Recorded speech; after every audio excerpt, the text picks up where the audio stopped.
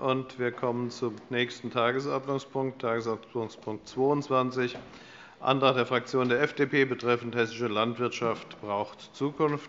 Damit gleichzeitig aufgerufen wird Tagesordnungspunkt 33, der Antrag der Fraktionen CDU, BÜNDNIS 90 die GRÜNEN betreffend Landesregierung unterstützt hessische Milchviehbetriebe, Milchkrise auf nationaler und europäischer Ebene bekämpfen. Das sind die Setzpunkte zusammengelegt der Freien Demokraten und der Fraktion BÜNDNIS 90 die GRÜNEN. Als erstes hat sich zu Wort gemeldet Herr Kollege Lenders für die Fraktion der Freien Demokraten. Bitte sehr, Sie haben das Wort. Vereinbarte Redezeit in diesem Fall wegen der Zusammenlegung der Setzpunkte 15 Minuten.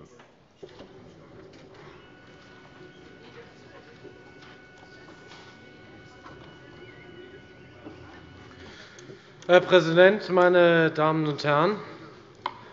Die Landwirtschaft ist gemeinsam mit der Ernährungswirtschaft nicht nur eine Schlüsselbranche unserer Volkswirtschaft, sie ist auch im ländlichen Raum zentraler und prägender Bestandteil. Unsere Landwirte versorgen uns mit hochwertigen und gesunden Lebensmitteln in höchster Qualität und leisten eine sehr hohe Versorgungssicherheit. Sie pflegen unsere Kulturlandschaft und bewahren die natürlichen Ressourcen. Dabei stellen sie sich dem Markt und dem Wettbewerb. Seit über einem Jahr sind die wichtigen Agrarmärkte, vor allem bei Milch und Schweinen, sehr angespannt. Ursache dafür sind neben dem Russland-Embargo konjunkturelle Einbrüche beim Fleisch- und Milchkonsum in China. Inzwischen gibt es äh, beim Schweinefleisch eine langsame Erholung der Preise, und auch die Entwicklung bei der Milch lässt sich vorsichtig optimistisch äh, skizzieren. In China gibt es eine verstärkte Nachfrage. Die Einkommens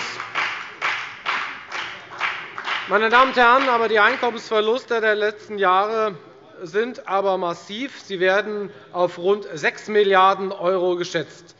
Das bedroht viele landwirtschaftliche Betriebe in ihrer Existenz, vor allem bei solchen, die in die Zukunftsfähigkeit investiert haben und moderne Ställe gebaut haben, diese Betriebe geraten nun in eine Schieflage. Die Situation wird den ohnehin anstehenden Strukturwandel noch weiter beschleunigen. und Auch das wird dazu führen, dass Milchmengen sinken dürften. Wir müssen die Zukunftsfähigkeit der Betriebe unterstützen und dafür sorgen, dass die diesen Engpass überstehen. Wir müssen aber auch so ehrlich sein und feststellen, dass es Betriebsformen gibt, die es äh, sozusagen aus der Zeit gefallen sind. Und was macht die Landesregierung nun? Sie stellt 5 Millionen € landesweit bereit. Klingt erst einmal gut. Aber, meine Damen und Herren, das ist ja auch Kern Ihres Antrags. Viel mehr an Inhalt hat er nicht.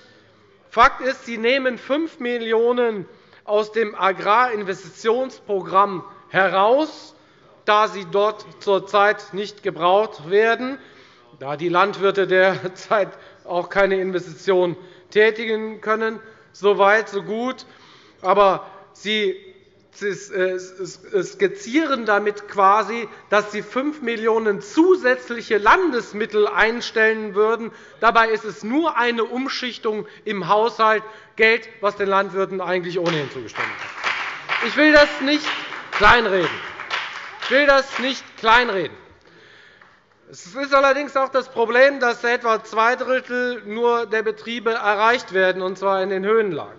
Die anderen Betriebe erhalten keine Unterstützung. Allein im Kreis Fulda betragen die Verluste der Landwirte 30 Millionen €, und das Land gibt 5 Millionen € als Hilfe für das gesamte Land.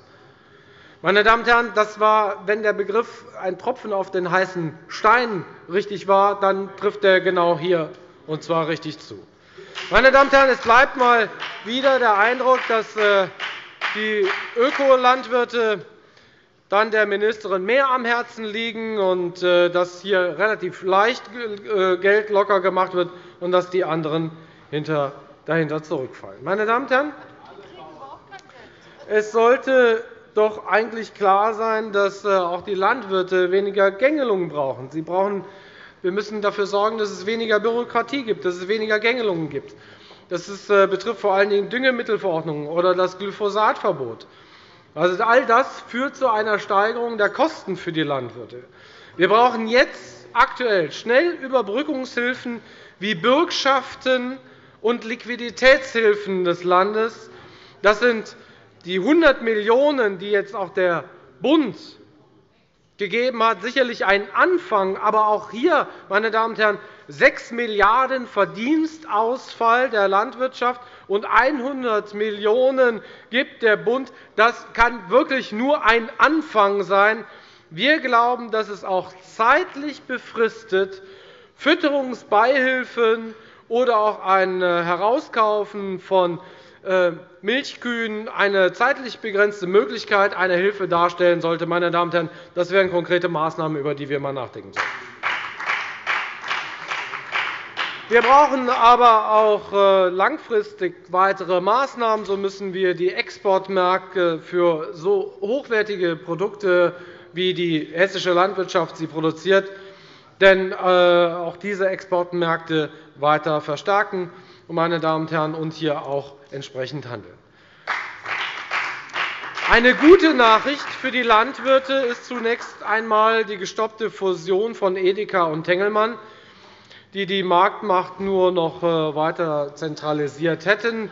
Diese Ministererlaubnis vom Bundeswirtschaftsminister gegen den Rat von Monopolkommission und Kartellamt war ein sehr großer Fehler.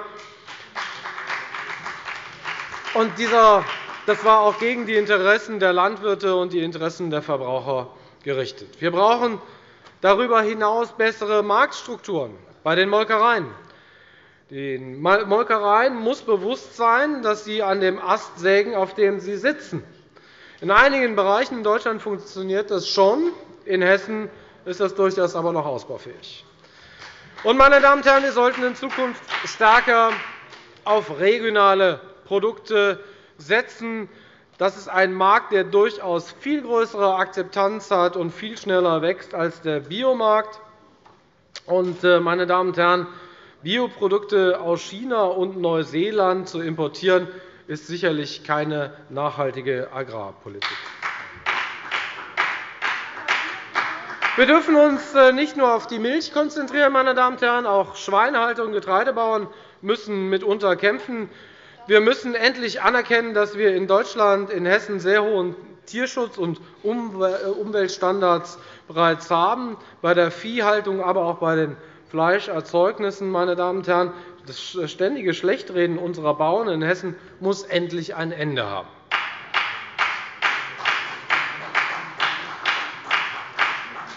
Ich erinnere mich äh, sehr gut an die letzte Umweltausschusssitzung hier im Landtag, als der Kollege Kurt Wiegel sich in einem emotionalen Appell an die Tierschutzbeauftragte gewendet hat und darum gebeten hat, endlich Schluss damit zu machen, dass die Landwirte permanent an den Pranger gestellt werden. Dem kann ich mich nur anschließen. Wir haben äh, in den letzten Jahren schon beim Tierschutz äh, erhebliche Fortschritte gemacht. Das sollte man auch irgendwann einmal anerkennen. Da ist von einer sogenannten Agrarindustrie in Hessen wirklich nicht zu sprechen. Das ist sicherlich kaum richtig für das Land Hessen. Auf jeden Fall trifft das mit Sicherheit so nicht zu. Meine Damen und Herren, und äh, weil wir jetzt beide Setzpunkte ja auch zusammenfassen, habe ich die Gelegenheit, ja auch noch kurz darauf einzugehen, was wir heute auch schon einmal diskutiert haben. Das war der Klimaschutzplan. Wenn uns äh, als äh, Freie Demokraten vorgeworfen wird, dass wir an der Bananenversorgung äh, interessiert werden. Also, meine Damen und Herren, also Bananenversorgung. Wir reden davon, dass wir 80 Millionen Menschen in Deutschland mit einem hochwertigen Produkt versorgen aus der regionalen Landwirtschaft. Meine Damen und Herren.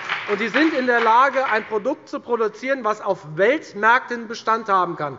Da geht es darum, welches Bild von Landwirtschaft haben wir eigentlich? Was für eine Landwirtschaft wollen wir? Und das zeigten eben auch die Stellungnahmen vor allen Dingen der GRÜNEN, wenn sie sich mit der sogenannten Agrarwende beschäftigen. Was für eine Landwirtschaft wollen wir? Seit Jahren betreibt die Bundesregierung eine Politik, die nicht zukunftsfähig ist und von der nur wenige profitieren. Das sagen die GRÜNEN. Das kommt nicht von uns. Meine Damen und Herren, wenn man sich mit dem Beschluss der Bundestagsfraktion der GRÜNEN zur Agrarwende einmal auseinandersetzt, findet man Begriffe wie Antibiotikum-Missbrauch, Tierquälerei, Massentierhaltung, Monokulturen, Landraub, verseuchtes Grundwasser, Überdüngung der Böden, politische Fehlsteuerung, industrielle Fertigung, Megaschlachthöfe, Tiere misshandelt, Menschen unter unsäglichen Bedingungen ausgebeutet. Meine Damen und Herren, das ist nicht in etwa das, was die GRÜNEN sagen, was sie verhindern wollen, sondern das ist das, was die GRÜNEN skizzieren als das, was real als Landwirtschaft in Deutschland existiert. Das ist das Bild, das die GRÜNEN von der existierenden Landwirtschaft haben. Meine Damen und Herren. Und deswegen rufen Sie jetzt nach der Energiewende auch noch die Agrarwende aus. Und dann schauen wir uns einmal an, was die GRÜNEN denn von der Bundesregierung jetzt fordern. Da sollen die EU-Direktzahlungen gedeckelt werden. Da soll es eine Änderung des Baugesetzbuches geben, Obergrenzen für Tierhaltungsanlagen, meine Damen und Herren, Verschärfung Düngegesetz, stringente Düngeverordnung, Änderung des Tierschutzgesetzes, meine Damen und Herren, ein Präventionsgesetz, weil Sie eben gesagt haben, es würde nicht um die Umerziehung gehen im Klimaaktionsplan. Präventionsgesetz für die als fester Bestandteil einer gesunden Ernährung an Kitas, Schulen, Unternehmen, Pflegeeinrichtungen äh, äh, zu gewährleisten. Meine Damen und Herren, der ökologische Landbau soll ein Förderschwerpunkt der Schulverpflegung werden.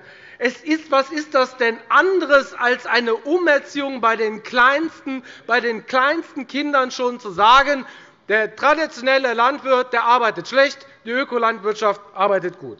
Meine Damen und Herren, Hygieneampel, Nährwertampel, Verbraucherinformationsgesetz, das könnte man in einem Atemzug weiter fortführen. Meine Damen und Herren, das ist nichts anderes als eine Kampfansage an die traditionellen konventionelle Landwirtschaft. Das ist eine Kampfansage an den Lebensmittelhandel und an die Lebensmittelproduzenten. Das ist eine Kampfansage an den mündigen Verbraucher. Und, meine Damen und Herren, das ist nicht alles aus der Vergangenheit.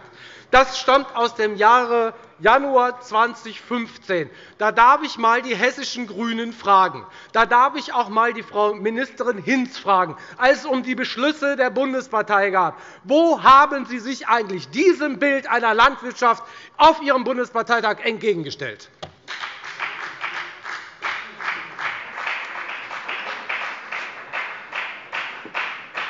Vielen Dank, Herr Kollege Lenders. Als nächstes hat sich zu Wort gemeldet Frau Abg. Feldmayer für die Fraktion BÜNDNIS 90 die GRÜNEN. Bitte sehr, Sie haben das Wort.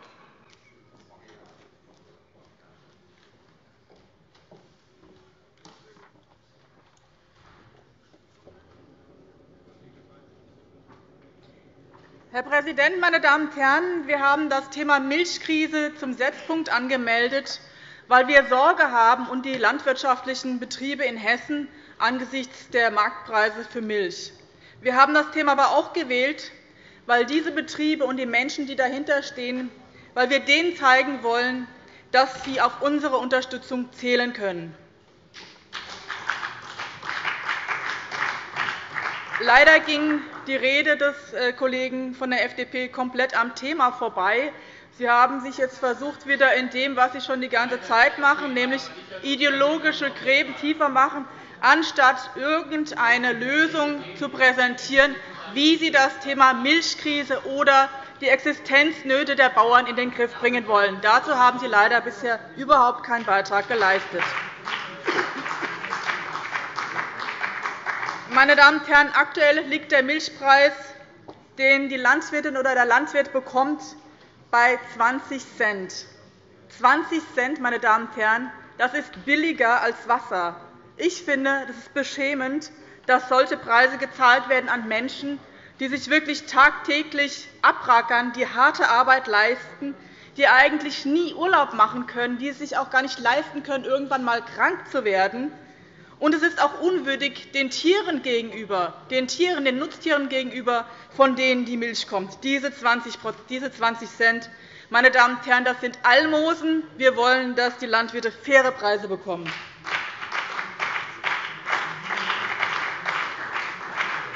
Wir haben aktuell in Hessen nur noch ca. 3.200 Milchviehbetriebe. Allein zwischen 1991 und 2010 gab es einen Rückgang der Milchviehbetriebe um 89% Das ist wirklich dramatisch, denn hier geht es um Existenzen. Und die Milchviehbetriebe die bleiben, die werden immer größer. Die kleinen Milchviehbetriebe, die kleinen Betriebe fallen weg. Es ist nicht so, dass ich jetzt sage, es darf keine größeren Betriebe geben. Aber auch diese größeren Betriebe kriegen ein Problem. Sie müssen immer effektiver arbeiten. Sie müssen sich vergrößern, effektiver arbeiten. Sie müssen Kredite aufnehmen und kommen aus diesem Dilemma kam raus, gerade bei den existierenden Preisen im Moment. Wir müssen die Milchviehbetriebe, die noch da sind, halten und unterstützen. Denn hier geht es doch um unsere heimische Landwirtschaft, hier geht es um den ländlichen Raum, hier geht es natürlich auch um unsere Kulturlandschaft und um die biologische Vielfalt, die ohne die Beweidung dieser Nutztiere teuer und aufwendig gepflegt werden muss. Alles in allem kostet es uns enorm viel, wenn wir so weitermachen wie bisher und die Milchkrise nicht bekämpfen. Da wird die billige Milch für alle im Endeffekt teurer, fast unbezahlbar. Geiz ist nicht geil, Nachhaltigkeit ist geil, denn nur das schafft gute Zukunftsperspektiven. Meine Damen und Herren. Die Milchbauern stehen mit dem Rücken zur Wand.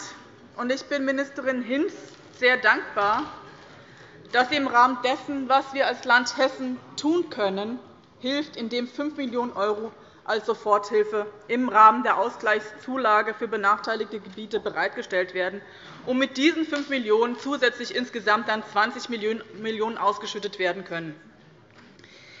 An Herrn Lenders gerichtet möchte ich sagen, klar, diese 5 Millionen € zusätzlich oder diese 20 Millionen € können das Problem nicht lösen, aber es hilft. Ich möchte Sie doch bitten, auch einmal zur Kenntnis zu nehmen, dass der Bauernpräsident Herr Schmal der bei dieser Pressekonferenz ja auch zugegen gewesen ist, als das verkündet worden ist, dass es diese 5 Millionen € zusätzlich gibt, dass er auch gesagt hat, es ist ein wichtiges Signal auch für den Bauernverband, dass die Hessische Landesregierung zusammen mit dem Ministerpräsidenten Bouffier und mit Ministerin Hinz verkündet hat, dass diese 5 Millionen € Soforthilfe schnell und zügig bereitgestellt werden sollen.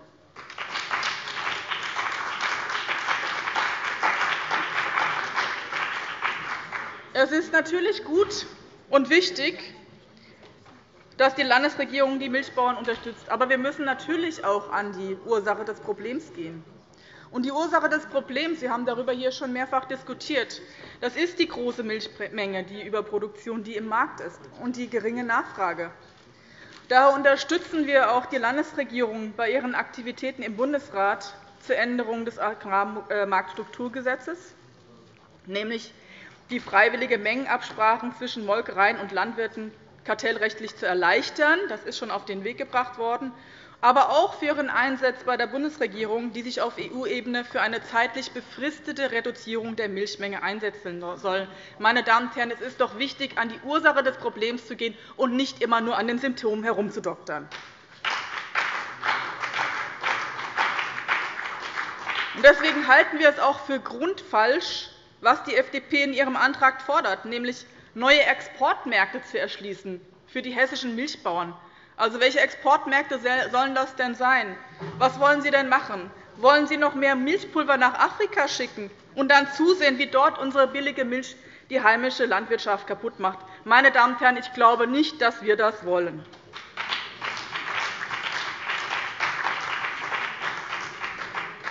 Und zum erneuten untauglichen Versuch der FDP ein Bild zu stellen, als würde mit dem Ökoaktionsplan irgendeine Benachteiligung der konventionellen Landwirte einhergehen oder sogar die Milchkrise verschärft werden, kann ich nur sagen, das, was Sie da für ein Bild stellen wollen, das ist so etwas von an den Haaren herbeigezogen, das ist so etwas von absurd. Und ich habe das Gefühl, Sie leben da wirklich in, einer, in der Vergangenheit, wo es auch noch die Gräben gab zwischen ökologischer Landwirtschaft und konventioneller Landwirtschaft hier in Hessen. Das möchte ich ja gar nicht bestreiten. Aber ich glaube, Sie hätten diese Gräben ganz gerne wieder da. Und wir haben sie nämlich mit unserer Landesregierung und mit Schwarz-Grün in Hessen zugeschüttet. Und ich glaube, das ist auch eine gute Leistung.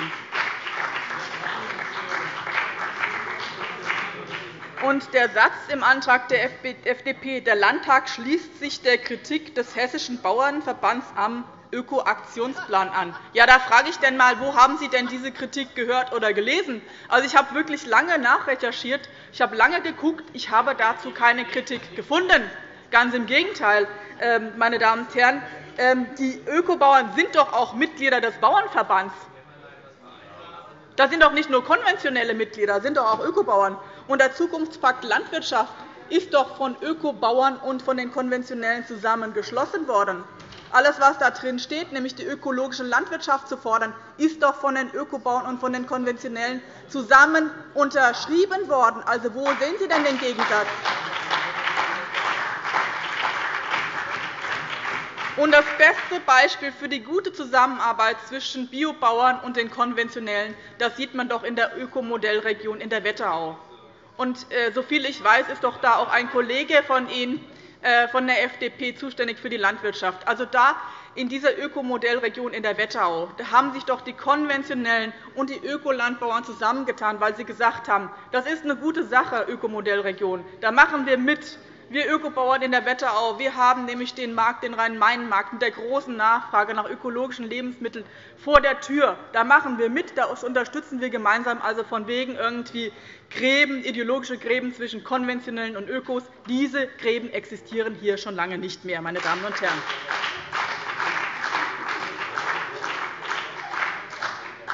Das Einzige, wo ich Ihnen äh, recht geben mag, Herr Lenders, ist in Ihrem Antrag, wo Sie sich kritisch äußern zu der äh, geplanten äh, Fusion von Tengelmann und Edeka und zu äh, dieser Ministererlaubnis. Auch das ist schwierig. Auch das wird nämlich die Konzentration im Markt natürlich verstärken. und Das ist sicherlich ein Nachteil für die Landwirtinnen und Landwirte, aber auch für die Verbraucherinnen und Verbraucher. Da sind wir ausnahmsweise einmal einer Meinung bei diesem Thema. Meine Damen und Herren, Ministerin Hinz tut alles, was von Hessen aus getan werden kann und möglich ist, um den Milchviehbetrieben zu helfen. Die Landesregierung handelt mit der Bereitstellung der zusätzlichen Mittel von 5 Millionen €, also insgesamt 20 Millionen € im Rahmen der Ausgleichszulage, äh, verantwortlich. Äh, Sie hatten es schon angesprochen, Herr Lenders. Das sind 70 der Milchviehbetriebe, die wir haben in Hessen. Es sind nicht alle Milchviehbetriebe, die wir haben, aber das sind die Milchviehbetriebe, die in den besonders schwierigen Lagen in Hessen sind, nämlich in Hanglagen befinden die sich oder ähm, gebirgigen Regionen, also in all diesen Regionen, die nicht besonders über guten, fruchtbaren Boden verfügen, wo man keinen Ackerbau betreiben kann, wo man keinen Gemüseanbau betreiben kann. Also, diese Menschen sind besonders gebeutelt. und Deswegen verstehe ich nicht, dass Sie gerade das auch noch kritisieren, meine Damen und Herren.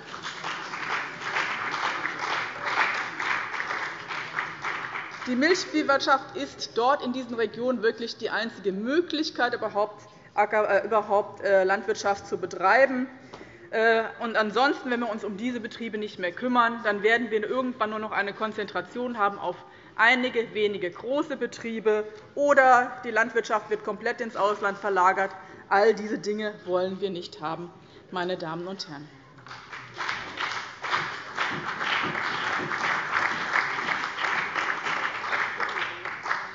Meine Damen und Herren, wir GRÜNE in Hessen kämpfen um jeden Milchbauern, aus diesem Grunde haben wir heute auch noch einmal diesen Setzpunkt angesetzt. Äh, wir müssen alles tun, was wir auf europäischer Ebene tun können, aber müssen wir befördern. Aber wir müssen natürlich auch das tun, was wir hier tun können. Das macht Frau Ministerin Hinz. Äh, morgen wird es eine Sonderagrarministerkonferenz in Brüssel geben. Da äh, treffen die Agrarminister mit dem Agrarkommissar Phil Hogan zusammen. Ähm, aber auch hier gilt für uns, bitte und das wird auch unsere Ministerin machen, an die Ursachen des Problems gehen, nämlich an die übergroße Menge, an eine Mengenregulierung müssen wir gehen. Von daher wünsche ich Ministerin Hinz morgen alles Gute, und ich danke auch für die Unterstützung. In diesem Sinne äh, hoffe ich, das auch noch einmal mit unserem Setzpunkt deutlich gemacht zu haben. Die Milchviehhalter in Hessen können auf uns zählen. Vielen Dank.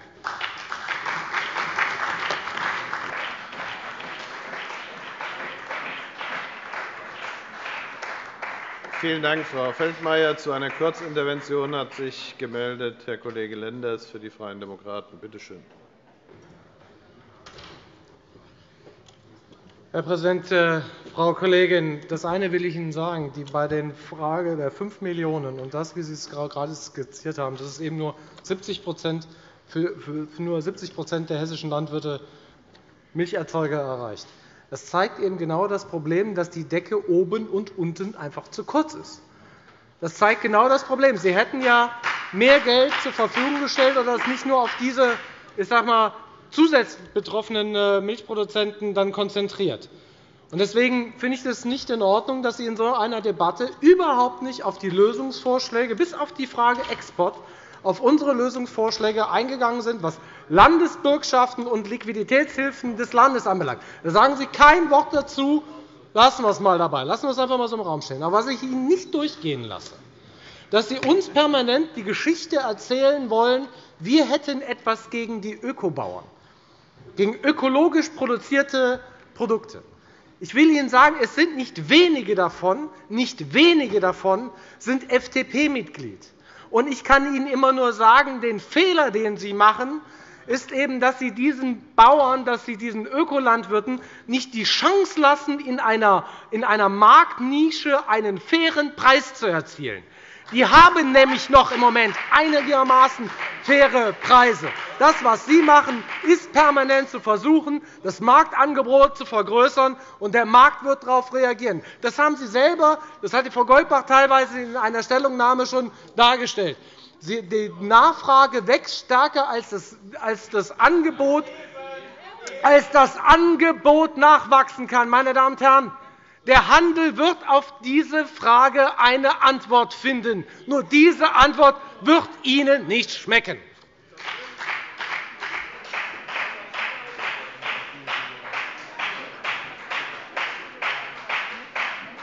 Vielen Dank, Herr Kollege Lenders. Zur Erwiderung Frau Feldmayer. Bitte sehr.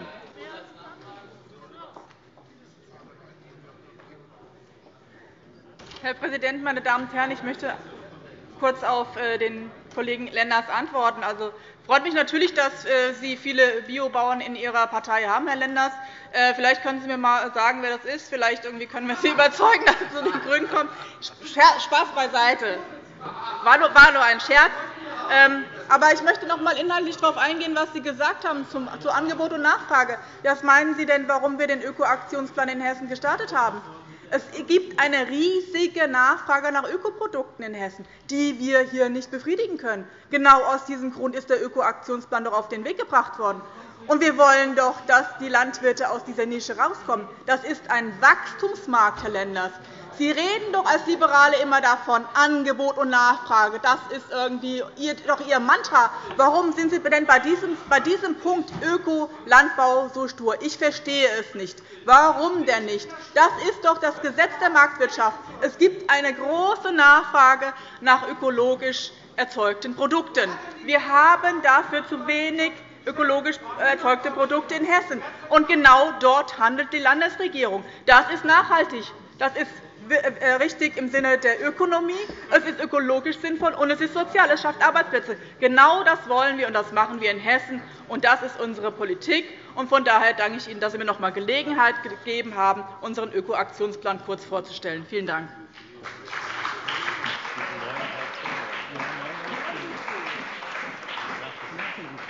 Vielen Dank, Frau Kollegin Feldmayer. Als nächstes hat sich zu Wort gemeldet für die Fraktion der Sozialdemokraten Herr Kollege Lotz. Bitte sehr, Sie haben das Wort.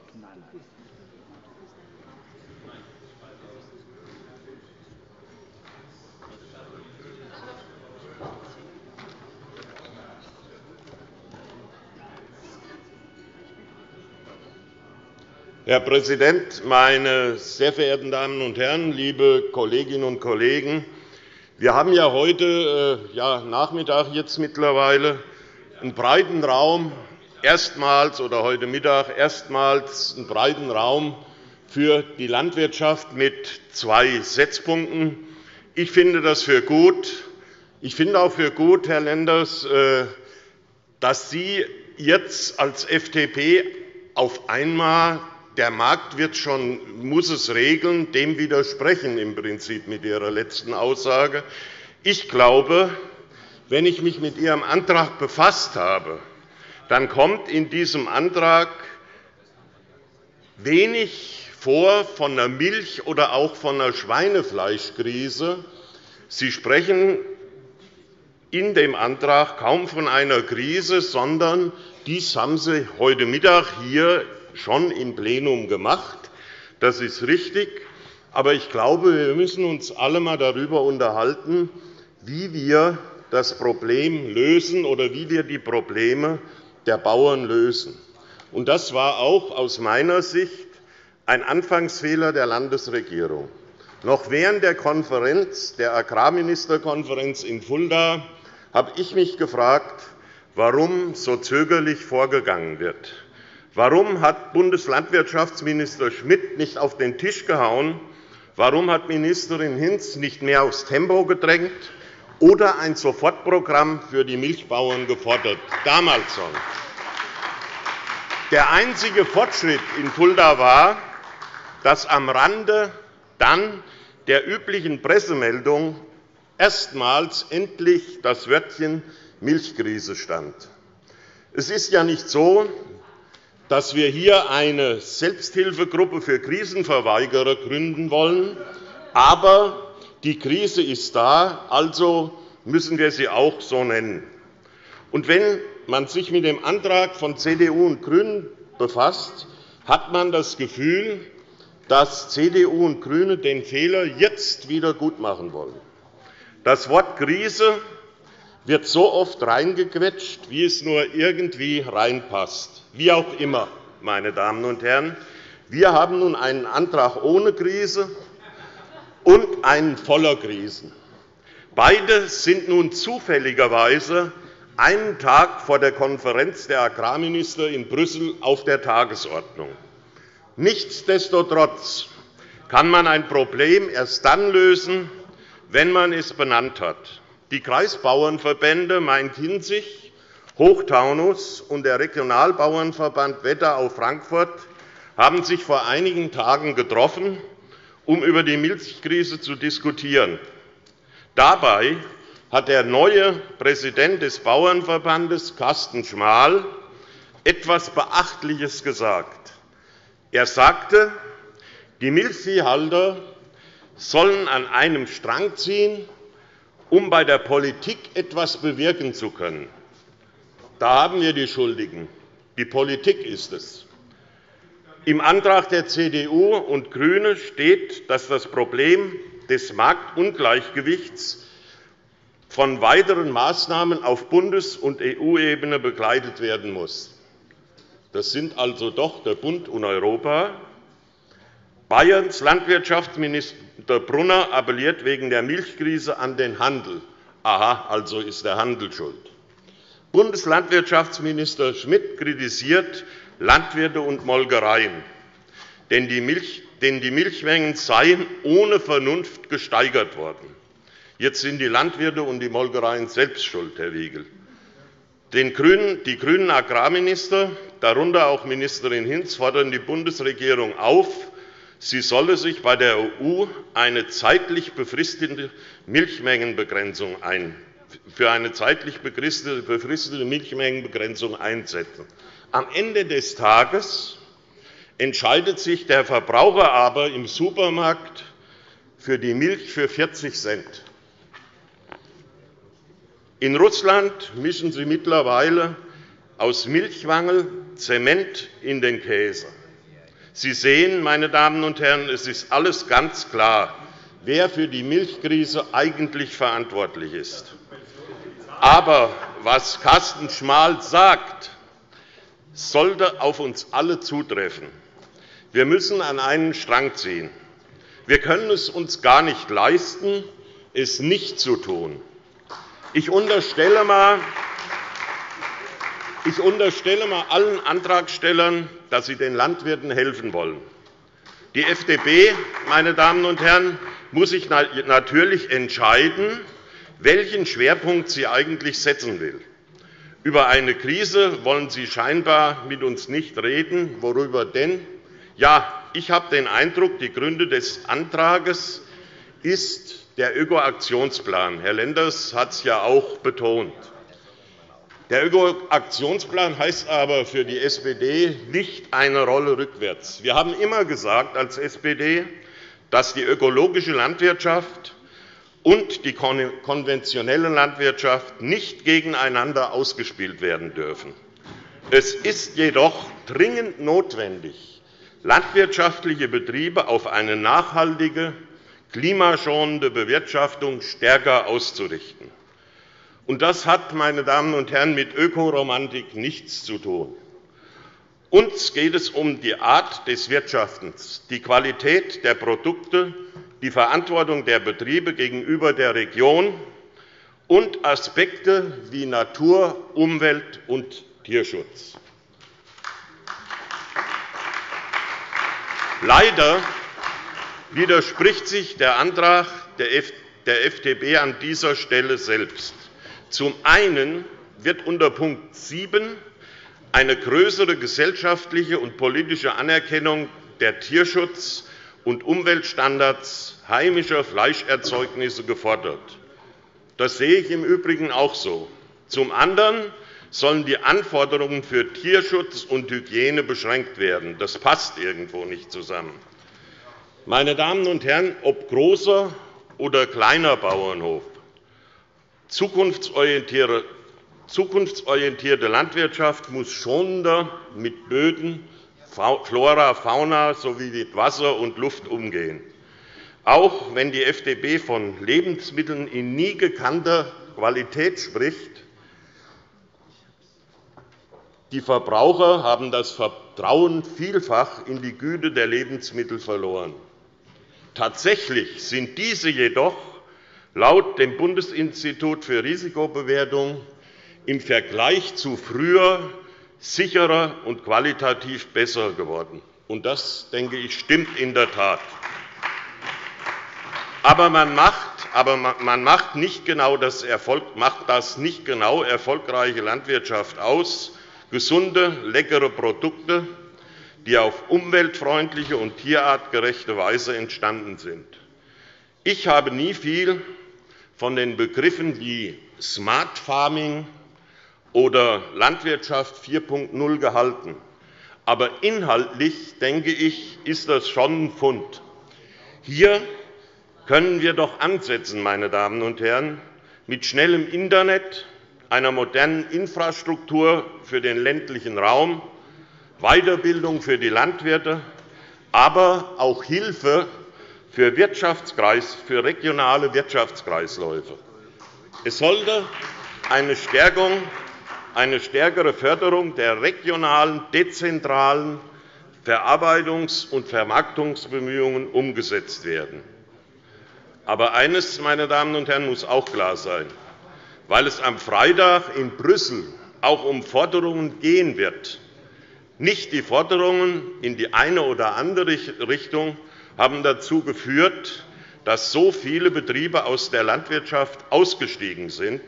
Es waren und sind die mangelnden betrieblichen Perspektiven für die Landwirte, aus der Produktion auszusteigen. Wir wissen doch heute auch, dass bundesweit 70% der Betriebe keinen Hofnachfolger oder Hofnachfolgerin haben. Die Töchter und Söhne unserer Landwirte wollen etwas anderes machen. Die Bundesregierung hat deutlich gemacht, dass sie dem nur zum Teil entgegenwirken kann oder will.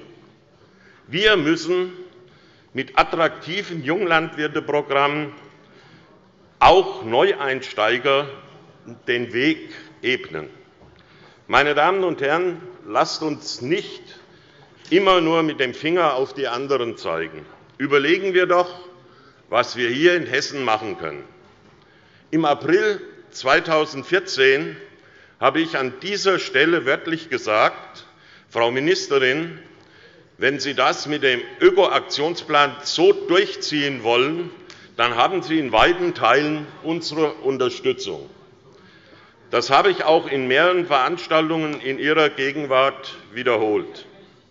Leider haben Sie bislang darin oder darauf nicht reagiert. Gerne wiederhole ich es heute noch einmal. Wenn es um den Erhalt der hessischen Landwirtschaft geht, sind wir bereit, konstruktiv mit der Landesregierung zusammenzuarbeiten. Es wäre schön, Frau Ministerin, wenn Sie über Ihren Schatten springen könnten und das Gespräch mit uns suchen würden. Das gilt selbstverständlich auch für alle anderen Parteien. Ich bedanke mich.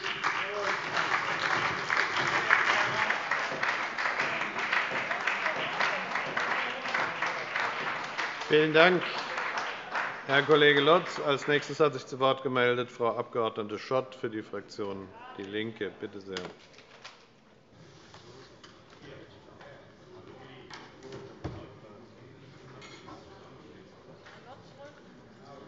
Herr Präsident, meine Damen und Herren! Ich glaube, das Thema ist zu groß und zu wichtig für kleinkarierte Parteinickeligkeiten. Und, ähm, sicher kann man an vielen Stellen und muss auch Opposition, insbesondere Regierungen, kritisieren. Aber selbst wenn diese Regierung an der Stelle alles perfekt und richtig machen würde und wir hier frenetischen Applaus dafür hätten, könnte sie dieses Problem nicht lösen. Ich glaube, darüber müssen wir uns im Klaren sein. Das ist die Grundlage der Debatte. Und wenn wir das außer Acht lassen, dann schießen wir am Thema vorbei. Ich denke, wir müssen uns vergegenwärtigen, dass die Veränderung von Markt, Import und Export und Lebensmittelproduktion in den letzten 100 Jahren dazu geführt haben, dass wir vor politischen Entscheidungen stehen, die eigentlich dazu führen müssten, dass wir so etwas haben müssten wie den Klimagipfel für unsere Landwirtschaft, einen Landwirtschaftsgipfel, um nämlich zu überlegen, wie wir weltweit sinnvoll damit umgehen, Nahrungsmittel zu produzieren. Es gibt so etwas wie ein Gespür, so eine Emotionalität dafür, dass Menschen es gern haben, dass die, Lebensmittel auch aus ihrer Region kommen. Das ist auch sinnvoll. Das sind kurze Wege. Dabei muss man nicht so viel kühlen, frisch halten, transportieren, hat weniger CO2-Ausstoß. Ökonomisch ist es nicht immer weil mancherorts manches in großer Produktion viel preiswerter gemacht wird. Wenn man jetzt daraus schließt, wir müssen hin und her transportieren, dann führt das dann dazu, dass man riesige, riesige Produktionsstätten hat. Und wir haben das Thema beim Weizen weltweit ja schon so. Und dass dann die Landwirtschaft in den Regionen auf der Strecke bleibt.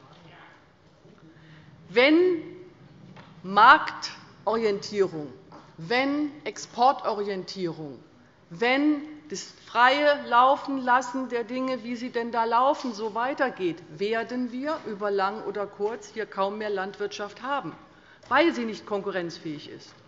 Wir haben hier eine Landwirtschaft, das ist vorhin schon beschrieben worden, in Hanglagen mit weniger guten Böden, wo wir dann insbesondere Milchvieh haben.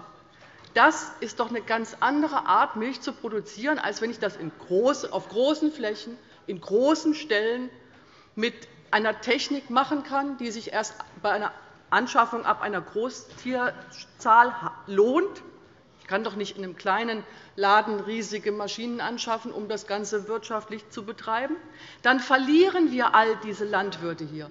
Und deswegen, genau deswegen müssen wir über die Grenzen dieses Landes hinaus.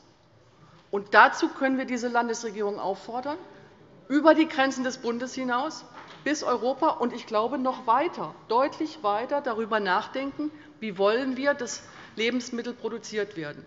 Und es ist richtig, dass Lebensmittel vor Ort produziert werden. Und es ist wichtig für die Versorgung, für die kurzen Wege, für den CO2-Ausstoß und für das ökologische Gleichgewicht. Denn wir brauchen die Landwirte vor Ort nicht nur zum Produzieren von Lebensmitteln. Das ist ein Teil davon. Aber wir brauchen sie auch, weil wir die Landschaft pflegen und weil wir im Sinne von Klimaschutz genau diese Pflege der Landschaft auch brauchen und nicht irgendeinen Wildwuchs, der dann staatlicherseits in Form von Aufforstung oder Brache oder wie auch immer sich gestaltet. Das wäre nicht der Weg, wo wir hin müssen. Deshalb ist es wichtig, dass wir jetzt und hier schauen, wie wir Landwirte stärken können. Ja, und das sind die 5 Millionen Tropfen auf den heißen Stein. Ich glaube, das wissen alle hier im Haus. Sie sind besser als nichts, aber sie helfen nicht. Sie retten auf die Dauer nichts und niemanden. Trotzdem muss man sie ausgeben an dieser Stelle.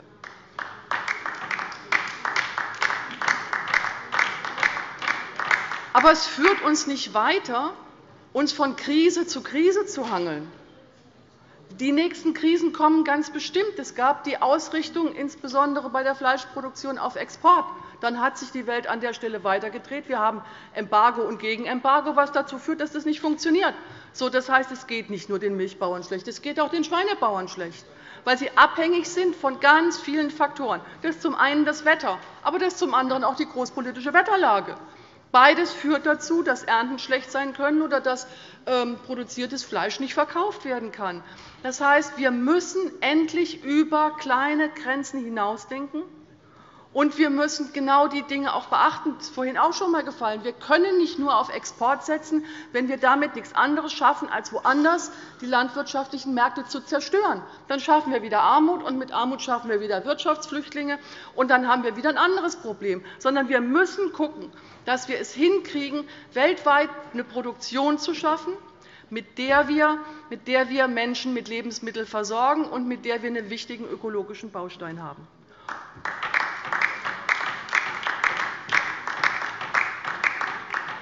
Und dass diese Situation eben nicht da ist, das zeigt schon die Perversion, dass die Landwirte auf der einen Seite laut und deutlich beklagen, dass ständig mehr landwirtschaftliches Land verloren geht.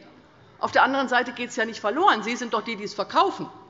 Und Sie verkaufen es auch zweckfremd, wenn das denn möglich ist. Es gibt ja auch Druck auf kommunale ähm, Politiker, zu sagen, jetzt widmet das bitte einmal um, weil wir wollen da gerne ein bisschen mehr Geld für kriegen als für Weideland.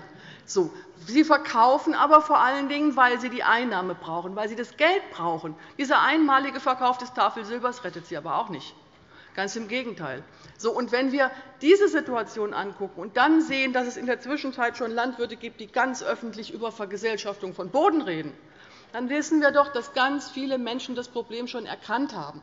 Und wenn wir hier auf der Ebene von Konkurrenzen darüber reden, als ob das Problem hier zu lösen wäre, dann zeigen wir damit nur, dass wir es nicht erkannt haben und dass wir auch nicht erkannt haben, dass wir es dringend und sehr viel größer dringend und sehr viel größer angehen müssen.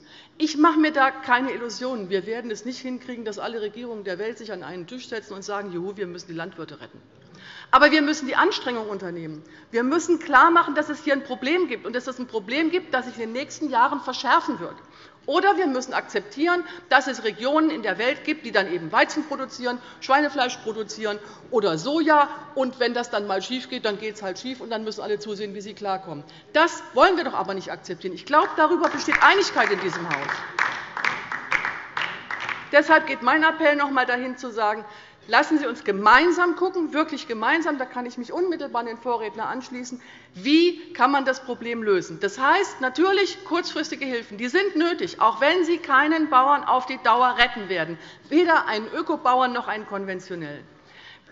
Und wir müssen darüber hinaus schauen, welche Stellschrauben sind zu drehen, um hier erst einmal Abhilfe zu schaffen. Das ist notwendig. Aber langfristig wird es nicht reichen. Und wenn wir langfristig die Landwirtschaft in unserem Land sichern müssen, dann müssen wir global denken, und zwar nicht im Sinne von, wie schaffen wir den Welthandel global, sondern wie kriegen wir mit den anderen Gespräche zustande in Form von Gipfeln, und zwar weltweiten Gipfeln, die klarmachen, wenn wir es laufen lassen, läuft es möglicherweise in eine Katastrophe.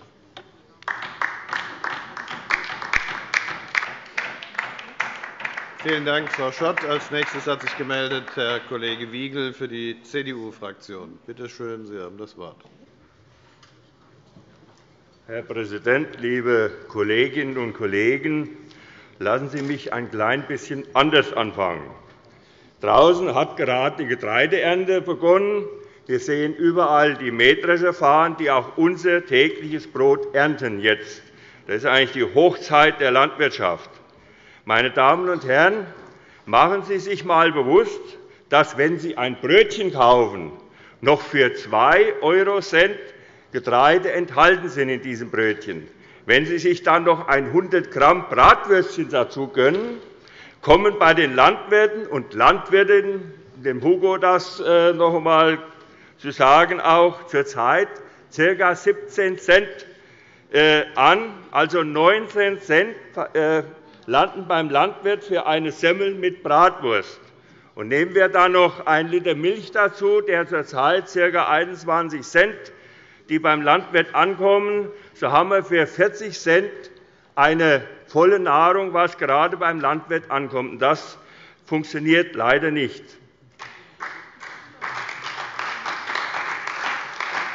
Wir müssen uns eines sehr klar machen. Davon können die Betriebe nicht existieren.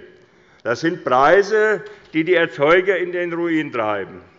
Gerade die Milcherzeuger sind neben, und das ist ja auch angesprochen worden, neben den Ferkelerzeugern sowie den Schweinemästern in einer der schwersten Agrarkrisen der letzten Jahrzehnte. Viele Betriebe sind in ihrer Existenz gefährdet denn die derzeitigen Erlöse decken die Kosten nicht mehr. Es steht zu befürchten, dass es bei einer weiter andauernden Krise zu massiven Betriebsaufgaben gerade auch hier in Hessen kommen wird.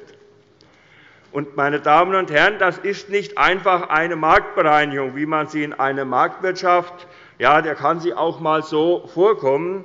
Das ist eine Umwälzung, die die flächendeckende Landwirtschaft, und mit ihr den Umweltschutz und die Kulturlandschaft und den ländlichen Raum infrage stellt.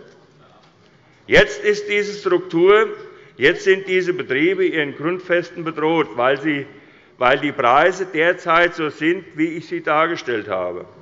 Ich will sehr stichpunktartig auf die verschiedenen Aspekte eingehen. Erstens. Warum ist das so? Wir haben nach Auslaufen der Milchquote und auch schon vorher leichte Produktionsausweitungen. Die Nachfrage in Europa ist relativ konstant, aber ziemlich unelastisch. Der Absatz über den Export ist aus verschiedenen Gründen, auch das wurde schon angesprochen, von den russischen Gegensanktionen über wirtschaftliche Schwierigkeiten im Nahen Osten wegen des Ölpreisverfalls bis hin zu Wachstumseinbußen im Fernen Osten eingebrochen.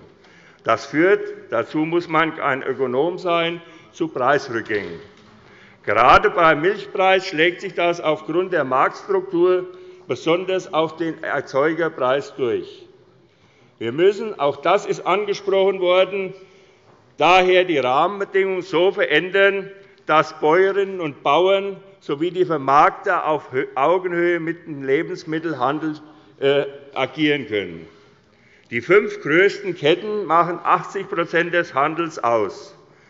Das braucht mehr kartellrechtliche Regulierung. Es kann auch nicht sein, und das passiert, dass Einzelne gar nicht mehr verhandeln, sondern sich der Abschlüssen der anderen anschließen und somit immer den günstigsten Abschluss bekommen.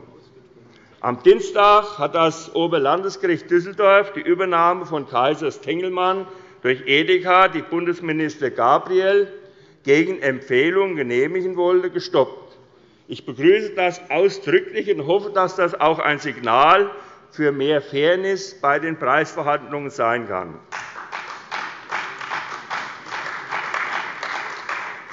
Es ist leider auch so, dass Überlegungen einer freiwilligen Regulierung der Milchmenge durch die Marktakteure zur Entschärfung der Krise leider bisher zu wenig gegriffen haben. Das ist ärgerlich, weil die Politik mit dem Agrarmarktstrukturgesetz die Rahmenbedingungen geschaffen hat, dass die Vermarkter, also Molkereien, durch Poolen sich stärker gegen den Handel und damit für die Erzeuger einsetzen könnten.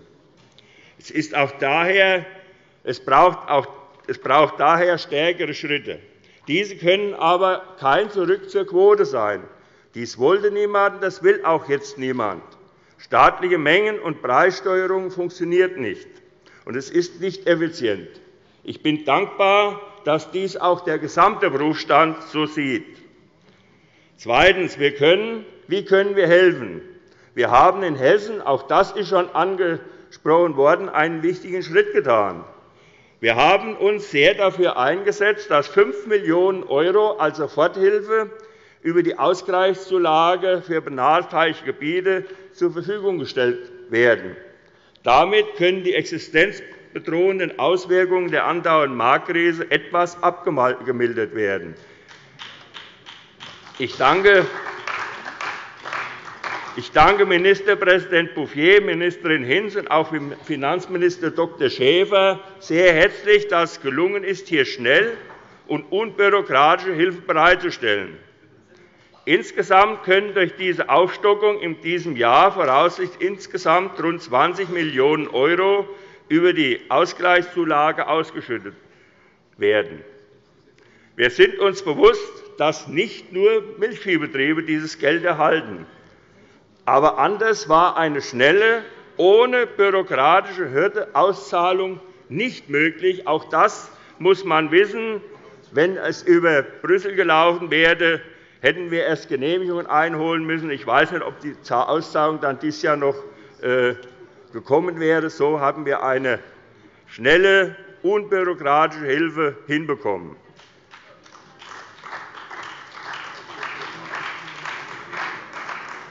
Dieses Geld kommt vorrangig den Grünlandflächen zugute. Ca. 70% dieser Flächen werden von rinderhaltenden Betrieben bewirtschaftet.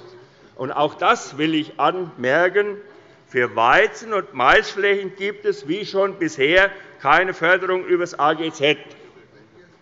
Vor allem sendet die hessische Landesregierung damit ein Signal an die Bäuerinnen und Bauern, ein Signal, das lautet, wir lassen euch nicht alleine in der Krise, auch wenn wir als Landespolitik das Problem nicht alleine lösen können.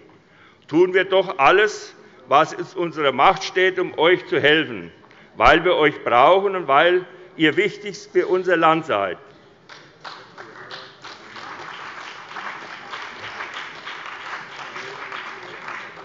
Aber auch, das wollen wir nicht verschweigen, der Bund hat einiges getan und auf den Weg gebracht, um unmittelbar zu helfen.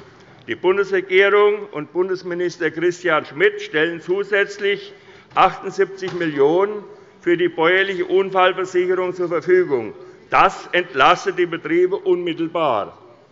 Außerdem wird es noch die Installierung eines 100 Millionen €, ich hoffe, das Plus kommt auch Existenzsicherungs- Bürgschaftsprogramm und Möglichkeiten, auch das scheint mir wichtig, zur Steuerglättung äh, geben. Also, auch die Bundesregierung hat schon Maßnahmen ergriffen, um kurzfristig zu helfen. Aber auch diese Maßnahmen werden allein das Problem nicht lösen. Wir brauchen daher europäische Lösungen. Auch hier erinnere ich an die Europadebatte, die wir am Dienstag geführt haben, die ja auch nur alles nur möglich ist, wenn wir gemeinsam in Europa an einem Strang ziehen. Am Ende kann nur ein fairer Milchpreis den Betrieben auf Dauer helfen. Nur bei einer Reduzierung der Milchmenge auf Ebene der Europäischen Union kann sich der Markt erholen und die Erzeugerpreise auf ein angemessenes Niveau ansteigen lassen. Wir brauchen eine europäische Lösung, denn nur diese verspricht die nötige Wirkung auf dem europäischen Markt. Hier sind einige Vorschläge auf dem Markt. Erst kürzlich, am 28.06., hat der Europäische Rat der Staats- und Regierungschefs die Kommission aufgefordert, ich zitiere, dringend alle erforderlichen Unterstützungsmaßnahmen einzuleiten, gegebenenfalls einschließlich finanzieller Unterstützung für Landwirte und appellierte an alle Akteure der Versorgungskette zur Verbesserung der Marktbedingungen beizutragen.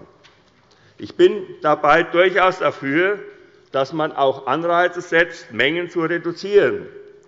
Auf europäischer Ebene kann man so sagen, dass zumindest diejenigen, die von Hilfestellungen profitieren wollen, Mengen zurückfahren und damit einen Beitrag zur langfristigen Problemlösung bringen müssen. Diese Position vertritt Deutschland auch in Brüssel. Liebe Kolleginnen und Kollegen, wir haben es schon häufig gesagt, und gerade ich auch als praktizierender Landwirten der CDU-Fraktion sage es gerne und immer wieder. Wir, das heißt meine Fraktion, diese Koalition und die durch sie getragene Landesregierung, stehen fest an der Seite der hessischen Landwirte. Wir lassen unsere Bauern nicht im Stich, sondern wir helfen und unterstützen sie, wo und so gut wir es können. Wir machen das nicht, weil die meisten Landwirte, das ist auch so, CDU wählen, sondern wir machen das, weil uns der Wert einer funktionsfähigen, flächendeckenden Landwirtschaft für unser ganzes Land, für unsere Gesellschaft und die ländlichen Räume bewusst ist. Landwirtschaft ist nicht eine, irgendeine Form des Wirtschaftens. Meine Damen und Herren, wir haben in Hessen eine kleinteilige und kleinbäuerlich strukturierte Landwirtschaft. So wollen wir sie erhalten. Vor allem wollen wir sie flächendeckend überall in Hessen erhalten. Warum? Weil Landwirtschaft noch viel mehr tut, als Waren zu produzieren, in diesem Fall Lebensmittel. Ja, über 17.800 landwirtschaftliche Betriebe geben in Hessen fast 60.000 Menschen Arbeit. Landwirtschaft ist gelebter Umwelt- und Artenschutz. Die Landwirte haben hohe Auflagen, und sie erfüllen diese Auflagen. Ich bin froh, dass die Freidemokraten dass sie ihren Antrag auch so formulieren. Wir müssen gemeinsam dafür werben, dass diese Leistungen anerkannt und gewürdigt werden. Es ist viel passiert, und die Auflagen werden auch immer schärfer, sei es im Bereich des Tierschutzes, des Umwelt- oder Natur- und Artenschutzes, wo Hessen ebenfalls vorangeht und Verantwortung übernimmt, sei es im Emissionsschutz oder im Wasserrecht. In Amerika, in Asien, in Afrika nirgends werden so hohe Standards eingehalten. Das müssen wir auch draußen unseren Verbrauchern sehr deutlich sagen. Eng damit verknüpft ist der Erhalt unserer einzigen Kulturlandschaft in Hessen, der nur durch landwirtschaftliche, ich muss das immer wieder erwähnen, Bewirtschaftung möglich ist. Nicht zuletzt sind Land- und Forstwirtschaft ganz wichtige Säulen für den ländlichen Raum. Meine sehr verehrten Damen und Herren, wir wollen, wir müssen das erhalten. Das sind Familienbetriebe mit langer Tradition. Ein verlorener, ein aufgegebener Betrieb kommt nicht mehr zurück. Die Landwirte erhalten daher Gelder aus Brüssel, aus Berlin und auch von Seiten des Landes Hessen. Ich lege aber Wert auf die Feststellung, unsere Landwirte erhalten keine Subventionen. Sie erhalten eine Entlohnung für gesellschaftlich gemeinnützige Leistungen, und sie haben dieses Geld verdient.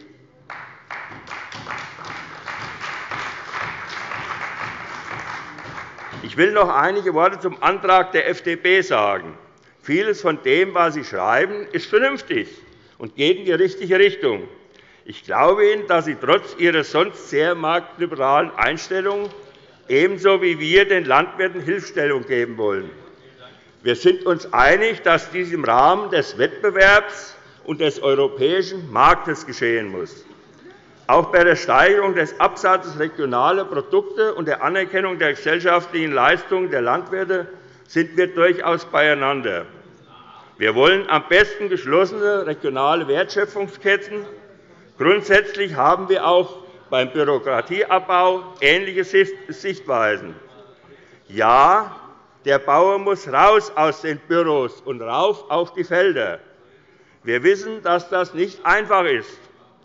Hören Sie zu, Herr Rentsch, weil wir nun einmal ein komplexes Fördersystem haben. Und wenn wir sagen, dass es Förderung dafür gibt, dass der Landwirt gesellschaftliche Leistungen erbringt, müssen wir zu einem gewissen Grad damit leben, dass die Gesellschaft, die das finanziert, Rechenschaft verlangt, ob der Landwirt diese Leistungen auch erbringt.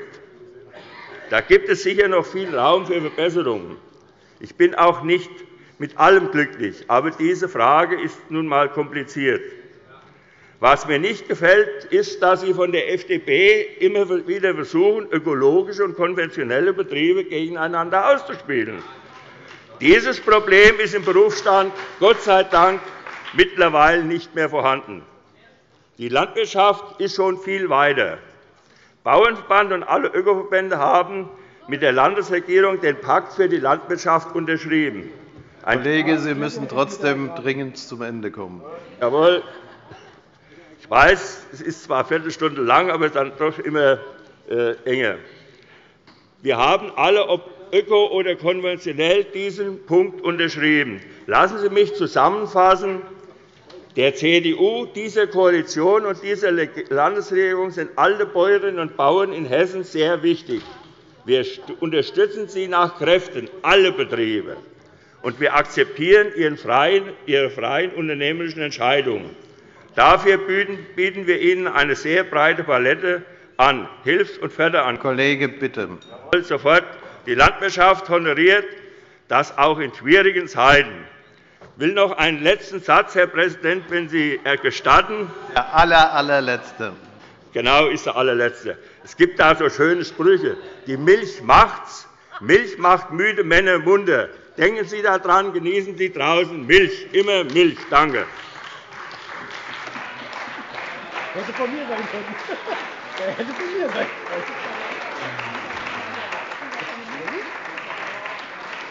Vielen Dank, Herr Kollege Wiegel. Ich nehme an, für die Landesregierung spricht Frau Staatsministerin Hinz. Bitte sehr, Sie haben das Wort. Herr Präsident, meine Damen und Herren! Lieber Kurt Wiegel, ich überlege mir jetzt gerade, was für die müden Frauen eigentlich übrig bleibt.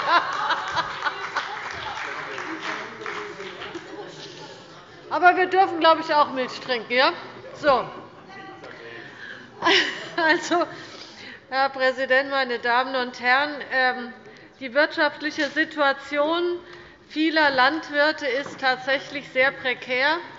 Das gilt für die Schweinehalter, weil der Schweinepreis im Keller ist. Das gilt insgesamt für die Bauern, die frische Produkte in den Markt bringen, weil insbesondere die ähm, frischen Produkte in Deutschland leider niedrige Verbraucherpreise haben, niedriger als im sonstigen europäischen Vergleich. Das ist äh, äußerst bedauerlich, und eigentlich äh, müssten die Verbraucherinnen und Verbraucher tatsächlich bereit sein, für gesunde, vollwertige Nahrungsmittel auch tatsächlich mehr zu bezahlen. Und der Handel müsste auch entsprechend äh, die Preise auch ähm, bieten und müsste äh, die Erzeugerpreise entsprechend steigern. Das ist etwas, was eigentlich unserer gemeinsamen Anstrengung bedarf.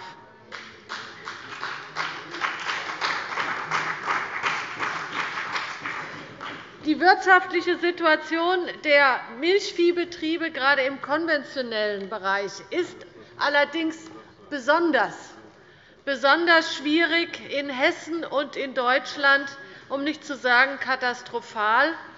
Europaweit haben wir in vielen Ländern eine solche Krise, nicht in allen. Äh, für Hessen reden wir von rund 3.200 Milchviehbetrieben mit knapp 150.000 Milchkühen, die fast 1 Million Tonnen Milch im Jahr erzeugen. Die Auszahlungspreise liegen seit etlichen Monaten in Hessen knapp über 20 Cent. Es gibt andere andere Länder, andere Bundesländer, da liegt äh, der Liter Milch schon bei unter 20 Cent.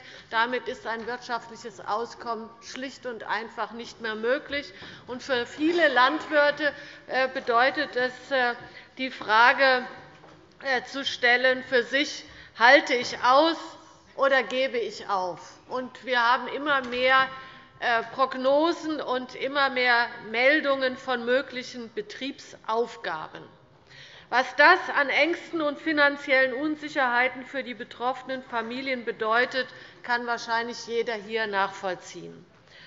wenn uns die Milchviehbetriebe wegbrechen, dann sind es nicht nur einzelne Betriebe und die Existenzen von einzelnen Familien, sondern es steht zu befürchten, dass damit auch die Landwirtschaft in den Grünlandregionen insgesamt wegbricht.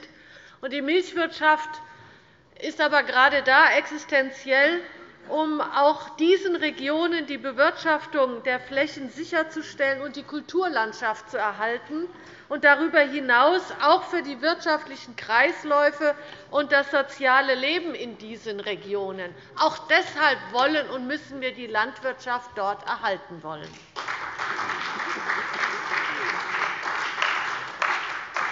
Das ist ein Grund, weshalb sich die Landesregierung entschieden hat, 5 Millionen € Soforthilfe über die Ausgleichszulage für benachteiligte Gebiete auszuzahlen. Sicherlich, das löst nicht das Problem insgesamt. Das hat auch nie jemand behauptet, keine Frage.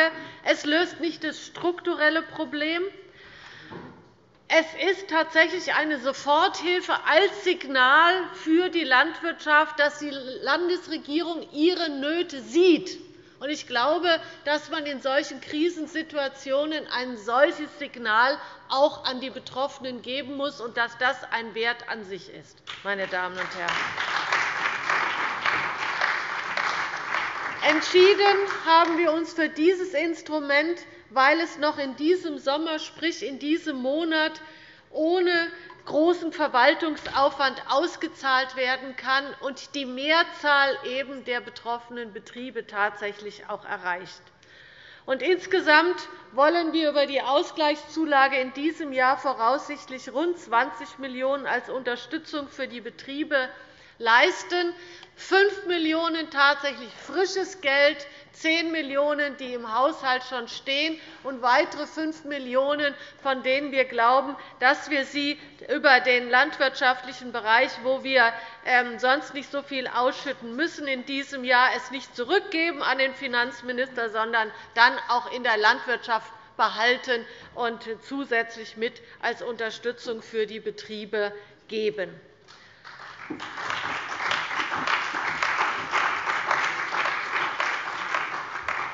Es ist so, dass wir diese Krise nicht in Hessen lösen können. Wir können sie noch nicht einmal deutschlandweit lösen. Wir müssten sie gemeinsam europäisch angehen.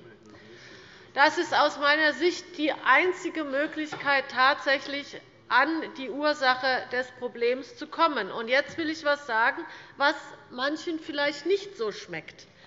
Vor allen Dingen jedenfalls nach der Ausrichtung auch des Antrags der FDP und der Rede von Herrn Lenders nicht. Die Milchquote ist weggefallen. Ja, das ist richtig so, und es war lange angebahnt, dass die Milchquote wegfällt. Und keiner will mehr zur Milchquote zurück.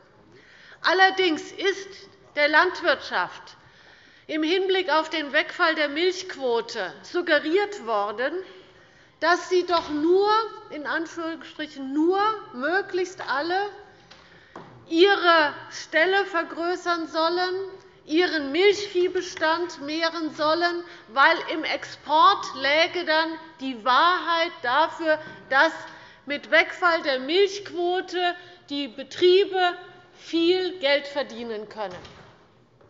Das kann einmal so sein, klar. Und niemand ist hier, also ich will auch nicht den Export verbieten. Nur, wenn man sich auf ein solches in Anführungsstrichen Abenteuer oder auf eine solche marktwirtschaftliche Lösung einlässt, dann muss auch jeder wissen, wenn die Rahmenbedingungen mal nicht mehr stimmen, weil außenpolitische Entscheidungen eben so getroffen werden, dass sie aus außenpolitischen Gründen und sicherheitspolitischen Gründen getroffen werden und nicht nach der Frage, ob da irgendwie ein Berufsstand jetzt Einbußen erlebt oder wie in Russland zum Beispiel, oder eben wie in China sich dort die wirtschaftliche Situation verändert und die dann eben nicht mehr die Milchprodukte einführen, weil sie eben nicht mehr so viel Geld insgesamt zur Verfügung haben. Dann kommt das natürlich als Rollback zurück. Das muss jeder wissen, der sagt, die deutsche Landwirtschaft soll am besten weiter auf Export ausgerichtet werden. Ich halte das persönlich für einen Fehler.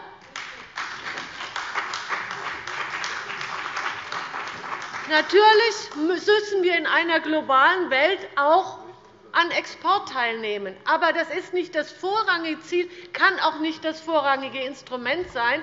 Das vorrangige Instrument muss immer noch sein, die heimische Bevölkerung mit heimischen Produkten möglichst zu versorgen. Und hier haben wir Märkte, die wir noch bedienen können, sowohl im konventionellen Bereich, was regionale Vermarktung angeht, als auch im ökologischen Bereich, was ja auch noch ein Zuwachsmarkt ist.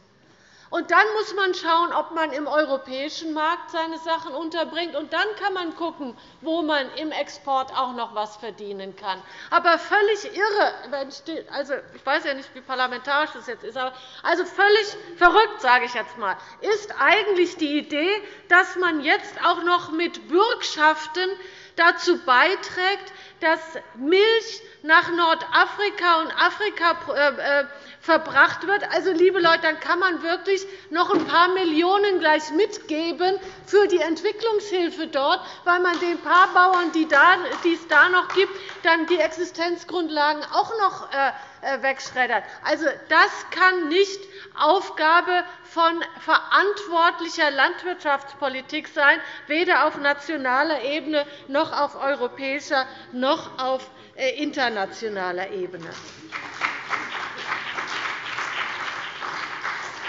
Die Ursache derzeit für für äh, den äh, Verfall des Milchpreises ist, dass wir europaweit eine zu hohe Milchmenge haben, die nicht mehr aufgenommen werden kann vom Markt.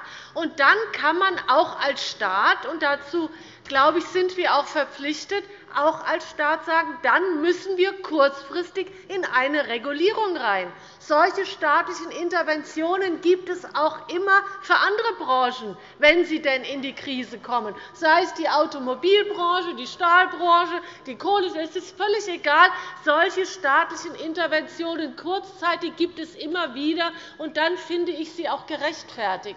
Deswegen soll es nicht zurück zur Milchquote, sondern es die Regulierung soll dazu dienen, dass kurzfristig Milch aus dem Markt genommen wird, damit der Preis sich wieder stabilisieren kann. Und dann kann auch wieder diese staatliche Regulierung aufgehoben werden. Und darum kämpfen wir morgen in Brüssel. Das ist ein, im Wesentlichen ein gemeinsamer Kampf aller Agrarministerinnen und Agrarminister Deutschlands. Wir haben jedenfalls im März dazu schon eine Entscheidung in der Agrarministerkonferenz getroffen. Wir haben im Bundesrat mit unseren Entscheidungen zum Agrarmarktstrukturgesetz dazu auch Bahn gelegt. Ich hoffe, dass wir morgen den EU-Kommissar Phil Hogan auch entsprechend davon überzeugen können, dass ein solcher Weg notwendig ist. Polen und Frankreich stehen auch jetzt schon an unserer Seite.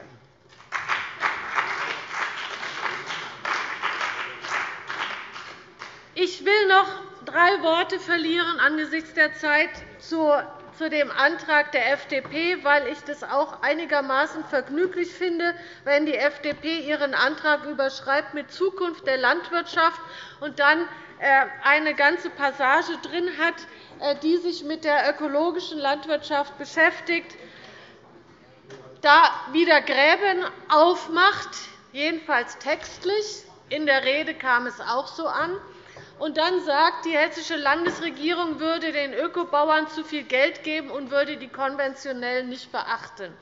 Also, ich weiß ja nicht, mit wem Sie so reden, aber ich glaube, Sie haben eher Phantomschmerzen, dass Sie nicht mehr in der Regierung sind und sich wundern, dass es eine grüne Landwirtschaftsministerin gibt, die es geschafft hat, mit allen Teilen der Landwirtschaft eine Beziehung, eine Arbeitsbeziehung aufzubauen, die nicht nur bilateral gut funktioniert, sondern die auch im Netz gut funktioniert. Äh, darüber bin ich sehr froh. Ich glaube, dass es richtig ist, dass wir auf diesem Weg weitermachen. Im Übrigen ist es tatsächlich so, dass wir einen Zukunftsmarkt haben in diesem Bereich, auch noch in Hessen für die regionale Vermarktung, die auch die konventionellen umfasst, für die ökologische Vermarktung. Wir haben mit unserem Projekt der Verbesserung der äh, Produktions- und Vermarktungsstrukturen auch jetzt äh, eine Grundlage gelegt dafür, dass äh, die Bauern ihre Produkte besser noch in Hessen absetzen können. Wir haben die äh, Umstellungsberatung nach wie vor für konventionelle Betriebe auf die Ökobetriebe. Aber wir sagen auch allen Milchviehbetrieben insbesondere, kümmert euch erst um eine Molkerei, die euch annimmt als neuer Ökobetrieb, damit es keinen Preisverfall auch noch bei der Ökomilch gibt. Während im Ackerbau, im Gemüseanbau für für den Ökobereich ist der Markt noch völlig unbelastet. Da können wir noch viele Umsteller in Hessen äh, verkraften. Deswegen, meine Damen und Herren von der FDP-Fraktion, sollten Sie endlich Ihre ideologischen Scheuklappen da jedenfalls ablegen. Was den Herrn Lorz angeht, also, wenn Sie mir ein Gesprächsangebot machen, nehme ich das sofort an. Ich habe damit überhaupt kein Problem. Und wenn Sie einmal wissen wollen, wie eine wie eine Beschlussfassung einer Agrarministerkonferenz zustande kommt, dass das nicht von einer Ministerin abhängig ist, sondern dass wir immer ein einstimmiges Votum brauchen, dann äh, erzähle ich Ihnen das auch noch einmal gerne, entweder beim Kaffee oder auch bei einem Glas Wasser. Ich habe immer schon alle Gesprächsangebote. Entschuldigung, Milch, Milch, die Milch, genau, die Milch für den Mann und ich wenigstens den, ich wenigstens den, ich wenigstens den Kaffee mit Milch. Ich habe jedenfalls noch nie ein Gesprächsangebot ausgeschlagen, auch nicht und gerade auch nicht von der SPD. Herzlichen Dank fürs Zuhören.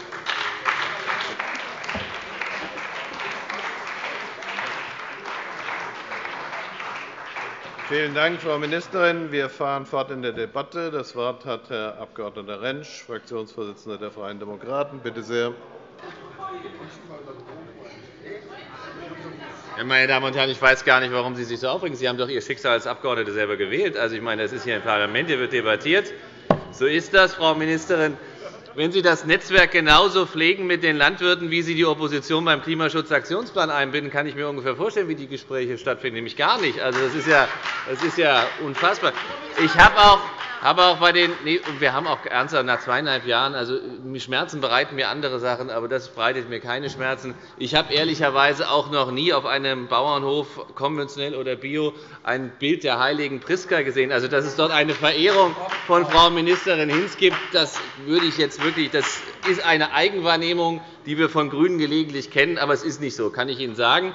Und in den Gesprächen mit den Landwirten wird schon differenziert, und es wird schon erkannt, dass Sie, Frau Ministerin, einen, ein Prä beim Thema Biolandwirtschaft haben. Das ist ja bei einer grünen Ministerin auch nicht überraschend. Es ist ja okay, dass es so ist. Und jetzt sage ich einmal für mich, muss meine Fraktion kurz weghören, sogar ich kaufe Bio-Lebensmittel. Das ist so. Ich werbe mich teilweise, erkenne mich, ja, das ist, ich weiß, überraschend. Es ist überraschend. Holger Bellino sehe ich es an, dass er sie nimmt. Äh, manchmal zu wenig. Manchmal zu wenig. Äh, mehr wäre gut. Aber, Kollege Bellino, ich sage Ihnen, und das war das, was Kollege Lenders vorhin völlig richtig auch volkswirtschaftlich gesagt hat, die Nachfrage nach Bio-Lebensmitteln steigt geringer als das, was Sie durch staatliche Förderung quasi an Angebot erzeugen. Das ist das Problem. Und wenn es eben mehr Angebot gibt als Nachfrage, führt das zu fallenden Preisen. Und die großen Höfe, die beim Biolandwirtschaftsthema umgestellt haben, investiert haben, sind nicht begeistert davon, dass sie Subventionen in den Markt drücken. Das ist das Problem. Also ein relativ einfaches Konstrukt, Frau Ministerin Hinz. Wir haben in keiner Weise, im Gegenteil, ein Problem zwischen der Differenzierung zwischen normaler Landwirtschaft, konventioneller Art oder Biolandwirtschaft. Im Gegenteil. Und es gibt wirklich dort, glaube ich, auch keinen Krieg. Aber es geht um die Frage, wie man damit umgeht. Und ich verwahre mich auch ein Stück gegenüber denjenigen, die bei konventioneller Landwirtschaft äh, produzieren oder im Sinne von konventioneller Landwirtschaft davor, dass man versucht, wie Sie das immer ein wenig heute natürlich deutlich smarter, als wenn Sie bei Fachtagungen der Biolandwirtschaft reden, äh, zu versuchen, einen Keil da reinzutreiben. Das eine ist eben das, was die Zukunft ist, und das andere ist ein bisschen veraltet. Also, der Kollege Wiegel ist wirklich kein, kein äh, altes Eisen. Im Gegenteil, auch wenn er konventionell produziert, ist er ein Stück Zukunft der hessischen Landwirtschaft, lieber Kurt Wiegel. Da werden wir, werden wir Wert darauf legen. Und deshalb wenn es der Kurt Wiegel nicht selber macht, stellen wir uns wenigstens vor Ihnen in dieser Debatte. Aber wir haben auch kein Problem mit dem Thema Biolandwirtschaft. Im Gegenteil, beim Thema Milch kann ich nichts beitragen. Ich kann äh, aufgrund meiner Laktoseintoleranz nur Sojamilch zu mir nehmen. Also an mir kann es auch ein Stück liegen. Aber insofern will ich an diesem Punkt sagen, nicht jeder kann mit dem Motto, die Milch macht es, lieber Kollege Wiegel, heute sozusagen arbeiten. Insofern nicht diskriminierend agieren. Sie reagieren jetzt mit den GRÜNEN. Insofern Diskriminierung sollte an dieser Stelle nicht der Maßstab der Kollegen der CDU CDU sein. Vielen Dank. Vielen Dank, Herr Kollege Rentsch. Weitere Wortmeldungen liegen mir nicht vor. Damit sind wir am Ende der Debatte. Es ist vereinbart, beide Anträge 19-3487 und 19-3569 zu verweisen in den ULA. So verfahren wir dann. Ansonsten ist vereinbart.